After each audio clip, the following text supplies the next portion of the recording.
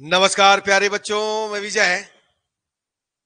बच्चों, आज हम BSc first year physics paper two का यूनिट टू का स्टार्ट कर रहे हैं प्यारे बच्चों। इलेक्ट्रोस्टेटिक स्थिर वैद्युत। बच्चों, आज हम लोग सबसे पहले जानकारी लेंगे विद्युत क्षेत्र की तीव्रता।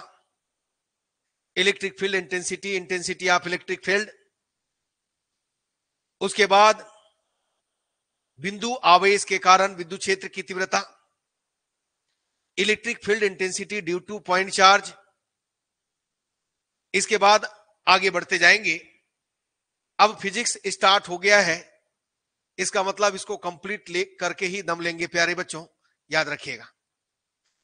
आपने अभी तक हमारा ऐप डाउनलोड नहीं किया है तो अवश्य डाउनलोड कर लो।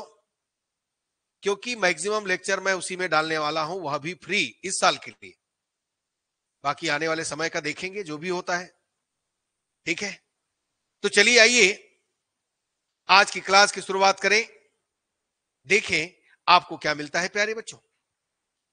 तो इलेक्ट्रोस्टेटिक्स है ना? ये देखिएगा, ये हमारा एप का क्यूआर कोड है, इसको देखकर डाउनलोड कर सकते हैं।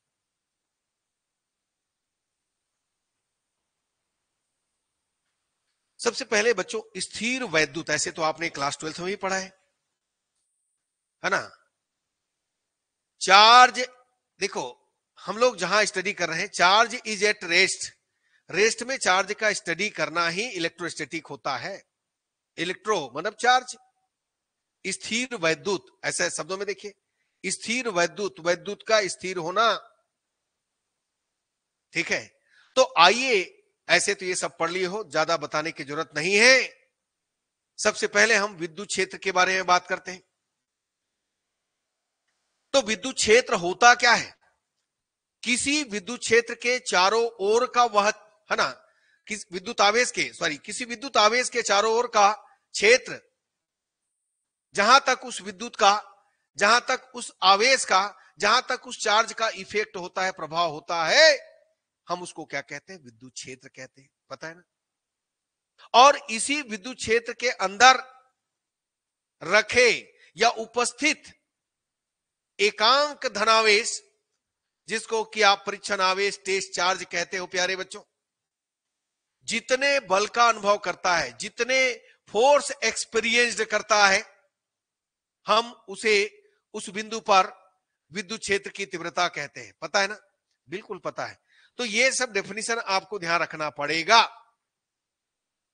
सबसे पहला, विद्युत क्षेत्र।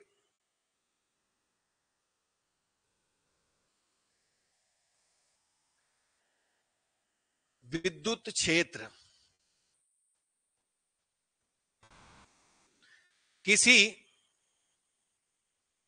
विद्युत आवेश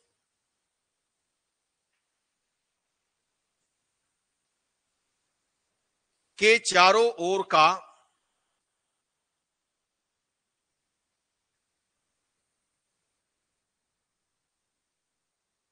वह क्षेत्र जहाँ तक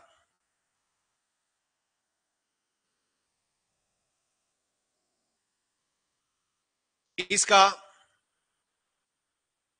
प्रभाव होता है उसे विद्युत क्षेत्र कहते हैं। ठीक? अब हम देखेंगे विद्युत क्षेत्र की तीव्रता। इलेक्ट्रिक फ़ील्ड, पहले हमने देखा, इलेक्ट्रिक फ़ील्ड इंटेंसिटी। आइए बात करते हैं। विद्युत क्षेत्र की तीव्रता।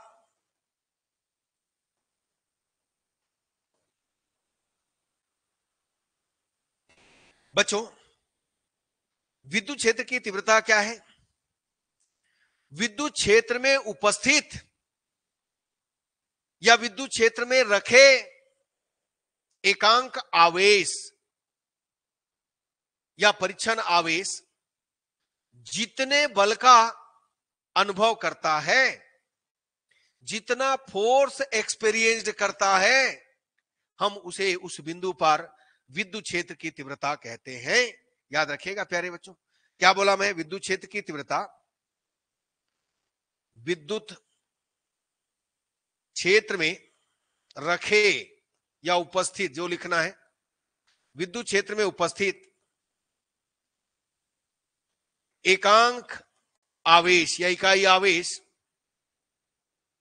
इसी को हम परीक्षण आवेश कहते हैं, टेस्ट चार्ज के नाम से जानते हैं। परीक्षण आवेश, जितने बल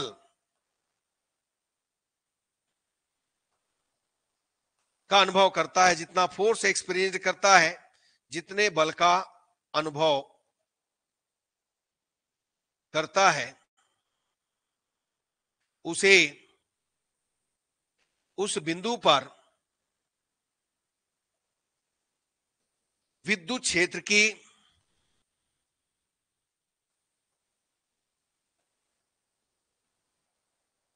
तीव्रता कहते हैं प्यारे बच्चों।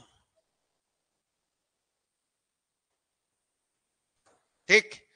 और इसे, कैपिटल ई से प्रदर्शित करते हैं। It is represented by capital E यह एक वेक्टर क्वांटिटी है प्यारे बच्चों। यह सदीश राशि है।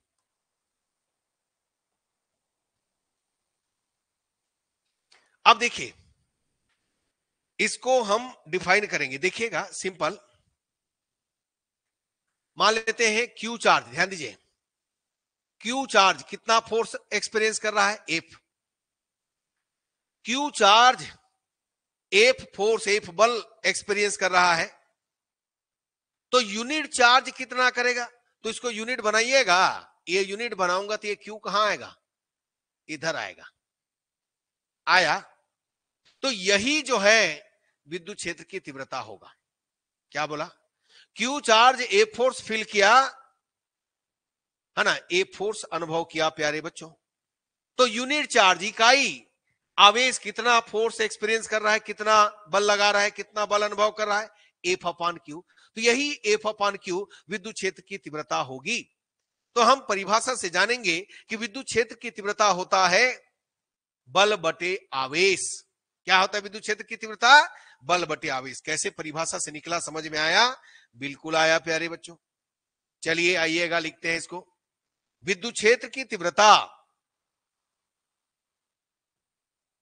विद्युत क्षेत्र की तीव्रता।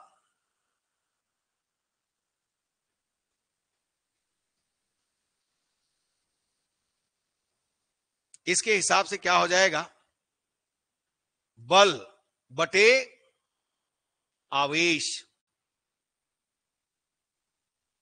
Electric field intensity is equal force divided by charge force divided by charge अब यहाँ पर देखो it is represented by E इसको हम ई से रिप्रेजेंट करते हैं।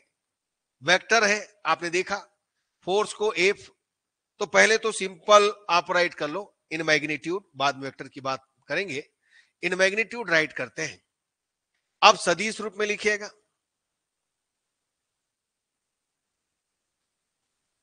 तो E इज़ इक्वल होता है, प्यारे बच्चों। एफ़ अपान कितना क्यों?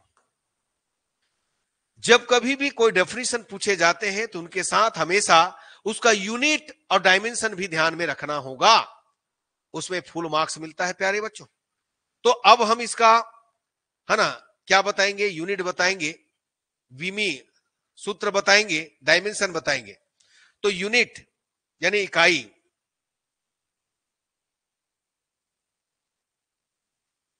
यूनिट क्या होता है भाई? सबसे पहला इन एसआई सिस्टम एसआई पद्धति में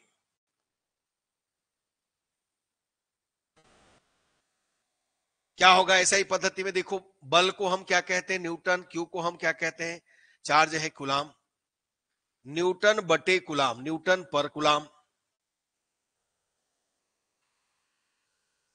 ये देखिएगा। इसी को हम सीजीएस पद्धति में, इन सीजीएस सिस्टम सीजीएस पद्धति,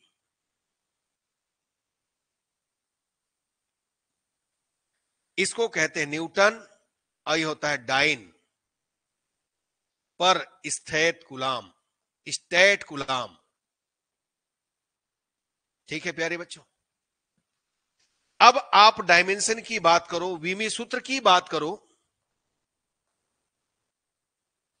विमी सूत्र किसका? ई का। तो ये बल का विमा, एफ़ बटे कितना है? क्यू। एफ़ के लिए आप क्या जानते हो? M L T minus two. Q, क्या हो गया? क्यू कहाँ से आया? बच्चों, आवेश प्रवाह की दर को हम क्या कहते हैं? धारा कहते हैं। धारा is equal charge divided by time होता है। तो इस तरीके से हम Q is equal I T लिखेंगे। तो भाई, मूल जो मात्रक है इसका, ठीक है फंडामेंटल क्वांटिटी कौन है भाई? करेंट तो उसके लिए हम जानते हैं ए और इस तरीके से क्यू का हो जाएगा कितना? ए टी टाइम टाइम का टी तो हमें यहाँ पर मिला कितना? ये मिला एम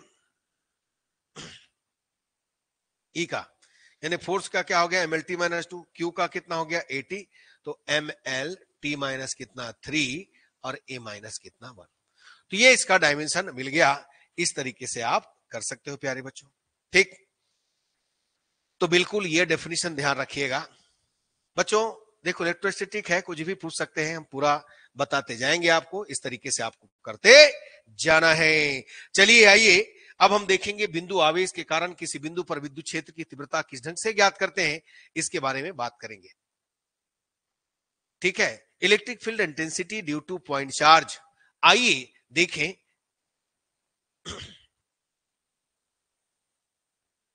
विद्युत क्षेत्र की तीव्रता बिंदु आवेश के कारण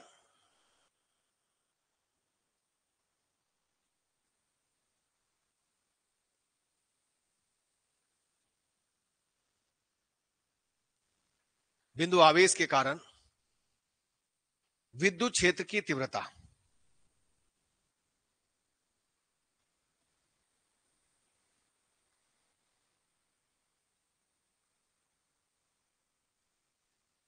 बिंदु आवेश के कारण विद्युत क्षेत्र की तीव्रता। तो बच्चों, चलिए देखें देखें जरा, कैसे करेंगे? ये देखिए, ये हमारे पास एक बिंदु आवेश है क्यू ये बिंदु आवेश। अब इसको हम एक पॉइंट मान लेते हैं ओ ठीक है ना? ओ पर एक बिंदु आवेश क्यों है।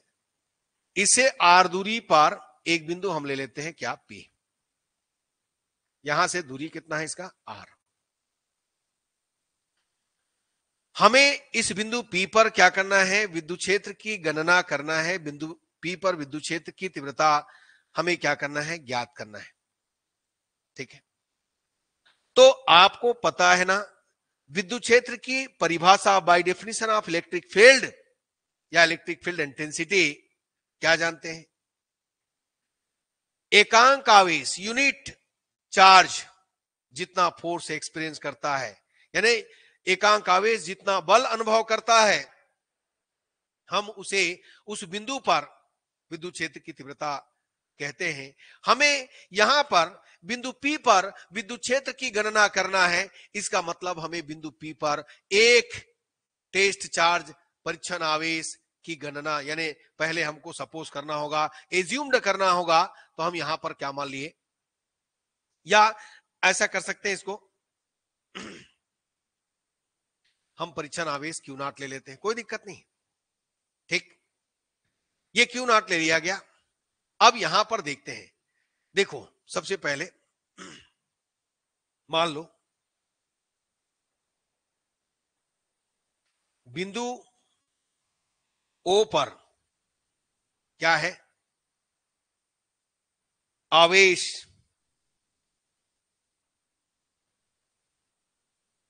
क्यू है? ओ से आर दूरी पर एक बिंदु पी है।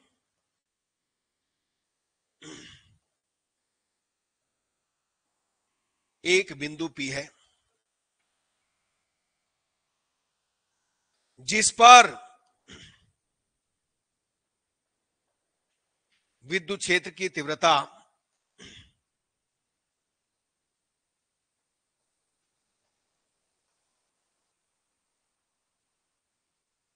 ज्ञात करना है, कहाँ पर? पी पर। इसके लिए बिंदु पी पर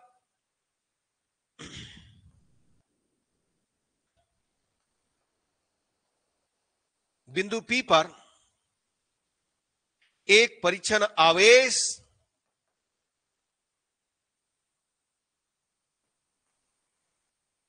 क्यू ज़ीरो की क्या करते हैं? कल्पना करते हैं। ज्यूम्ड किया गया, प्यारे बच्चों। ठीक है? ओ एक पॉइंट है। क्यू पॉइंट चार्ज है। आर डिस्टेंस पर एक पॉइंट पी है, जिस पर इलेक्ट्रिक फ़ील्ड इंटेंसिटी है ना काउंट करना है, इसके लिए हमने एक चार्ज यानी टेस्ट चार्ज क्या किया? एज्यूम्ड किया। देखो प्यारे बच्चों, ये हो गया यहाँ तक। अब देखो, इसमें ध्यान दो। बाई कुलम्स ला कुलाम के नियम से क्या जानते हैं? कुलाम के नियम से। ओपी पर लगने वाला बल। देखिए, ये भी पॉजिटिव चार्ज ये भी पॉजिटिव चार्ज दोनों में क्या होगा? रिपल होगा, प्रतिकर्षण होगा, प्यारे बच्चों। ये कहा जाएगा? इस डायरेक्शन में जाएगा। फोर्स जो है, उस डायरेक्शन में जाएगा। तो यहाँ पर ओपी पर लगने वाला बल क्या हो जाएगा भाई? एफ़ इज़ इक्वल आप जानते हो one upon four pi epsilon naught या इस्तेमाल के ले सकते हो कॉन्स्टेंट को बाद में लगा सकते हो। ठीक है, याद रखिएगा, ये सब जानते हो प्यारे बच्चों, आपने क्लास ट्वेल्थ में पढ़ा है। One upon four pi epsilon naught और ये क्या हो गया? Q upon sorry Q Q naught upon दोनों के बीच दूरी। आपने कुलम्स ला देखा होगा a physical one upon four five epsilon naught Q one Q two upon दोनों के बीच की दूरी का वर्ग होता है, प्यारे बच्चों आर स्क्वायर यस ये आपको मिला। ये हो गया एलांग ओपी ओपी की दिशा में। एलांग ओपी अब ये equation number first at point P बिंदु पी पर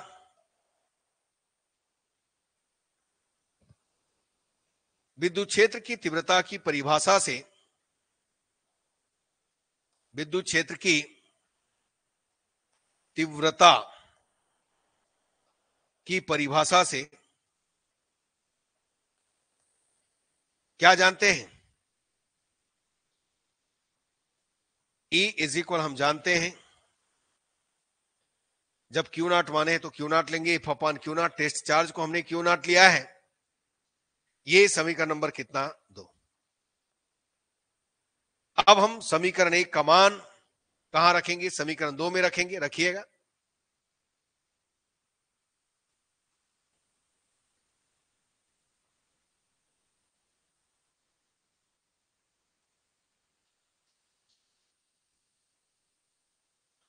क्या किया आपने? दो, है ना, आपके पास इक्वेशन, फ़र्स्ट और इक्वेशन, सेकेंड है। इक्वेशन का वैल, वन का वैल्यू इक्वेशन टू में आपने पुट किया तो ई इज़ इक्वल आपको क्या मिला? एफ़ का वैल्यू क्या है? एफ़ का value one upon four pi epsilon naught Q Q naught upon R square. और ये हो गया अपान कितना? Q naught. तो ये जो क्यू नॉट है, क्यू नाट से कैंसिल हुआ, प्यारे बच्चों। इज़ इक्वल क्या हो गया? One upon four pi epsilon naught Q upon R square तो यही क्या है? बिंदु आवेश के कारण आर दूरी पर स्थित बिंदु पी पर विद्युत क्षेत्र की तीव्रता। अब इसको स्टैंडर्ड मानिए। आप किसी भी पॉइंट के लिए डिस्टेंस पता होना चाहिए। है ना? बिंदु, यानी विद्युत क्षेत्र की पॉइंट चार्ज के कारण। विद्युत क्षेत्र की तीव्रता is equal one upon four five स्लान naught Q upon R square होगा। आपने इसका यूनिट भी देखा है न्यूटन पर गुलाम तो ये इस तरीके से हम देंगे और यही बिंदु आवेश के कारण विद्युत क्षेत्र की तीव्रता है। ठीक है प्यारे बच्चों, चलिए आगे बढ़ते हैं। देखते हैं। अब आता है बच्चों क्वेश्चन परावैद्युतांक क्या है?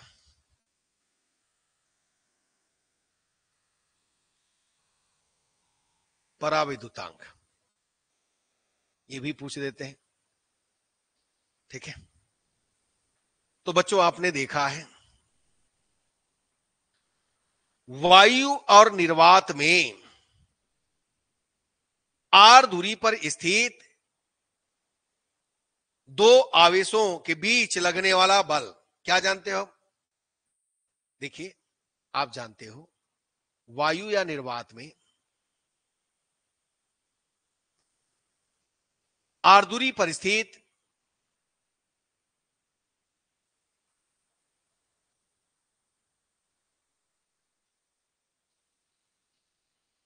आर दूरी पर स्थित दो आवेशों के बीच Q1 और Q2 के बीच लगने वाला बल। एफ़ इज़ इक्वल होता है one upon four pi epsilon naught upon कितना? R square. यह किसके लिए है? वायु निर्वात के लिए यही चीज़ यदि माध्यम में देते हैं, माध्यम में आरदूरी पर स्थित दो आवेशों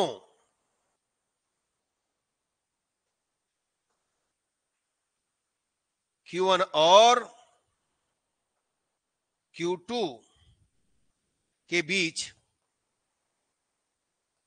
लगने वाला बल, इसको हम मान लेते हैं एफ़ डेस यह हो जाएगा one upon four pi epsilon naught, और साथ में लगाएँगे कैपिटल के। यही कैपिटल के क्या है? माध्यम का परावैद्युतांक माने वास्तव में के, है ना, जो भी वहाँ पर मीडियम है, माध्यम है, उसकी प्रॉपर्टी को क्या करता है? सो करता है। तो के माध्यम का पराविद्युतांक है, सबके लिए अलग अलग होता है। आपको पता है ना? है ना? कंडक्टर के लिए, चालक के लिए अनंत होता है। जल के लिए क्या होता है? एटी अस्सी होता है। वायु निर्वात के लिए के इज़ इक्वल वन होता है। ये सब अलग अलग होते हैं, प्यारे बच्चों, याद रखिएगा। तो Q1 Q2 अपान कितना है? आर स्क्वायर ये समीकरण नंबर कितना? दो। हमें तो इसको डिफाइन करना है तो अब क्या करेंगे? समीकरण एक को क्या करेंगे? एक मिनट। समीकरण एक को दो से भाग देंगे। यस देखते हैं। समीकरण एक को दो से भाग देने पर। चलो देते हैं। कितना हो जाएगा? एफ़ अपान कितना? एफ़ डेस इज़ इक्वल क्या मिलेगा भाई? One upon four pi epsilon naught Q one Q two upon R square one upon four pi epsilon naught capital K Q one Q two upon R square अब इनमें से हम क्या करते हैं? ये जो है, ये कैंसिल कर देते हैं प्यारे बच्चों। क्या मिलेगा आपको? आपको मिलेगा। F upon F dash is equal one upon one upon K तो ये उल्टा होकर ऊपर जाएगा तो K is equal F upon इस प्रकार क्या परिभाषित हुआ? वायु या निर्वात में दो बिंदु आवेशों के बीच लगने वाला बल और माध्यम में दो बिंदु आवेशों के बीच लगने वाले बल के अनुपात को माध्यम का पराविद्युतांक कहते हैं। ठीक है? क्या बोला? इस प्रकार परिभाषा बन गया। इस प्रकार वायु या निर्वात में एयर आर वैक्यूम वायु या निर्वात में दो बिंदु आवेशों के बीच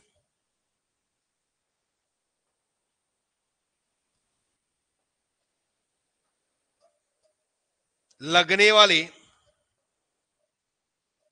बल और माध्यम में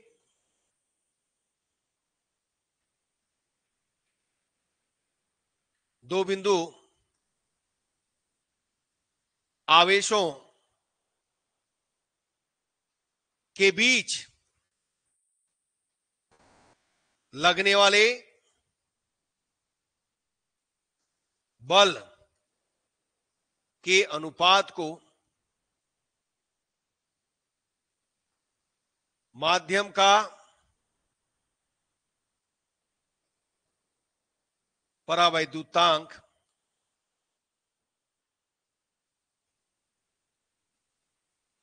कहते हैं। ठीक है प्यारे बच्चों, इसको के से प्रदर्शित करते हैं। इसी को विद्युतशीलता परमिटिविटी है ना? देखिए क्या होता है। विद्युतशीलता के पदों में, चूँकि हम जानते हैं, ये होता है epsilon is equal epsilon naught K. तो के इज़ इक्वल क्या होता है? Epsilon upon epsilon naught. इसके हिसाब से माध्यम में विद्युतशीलता और वायु निर्वात में विद्युतशीलता के अनुपात को पराविद्युतांक कहते हैं। माध्यम का पराविद्युतांक कहते हैं। याद रखिएगा तो ये भी परिभाषित कर सकते हो यदि आपको करना है तो। ठीक है? हम इसको कहते हैं विद्युतशीलता। और म्यूनाट होता है चुंबकनशीलता परमेबिलिटी ये परमिटिविटी ठीक है? याद रखिएगा प्यारे बच्चों।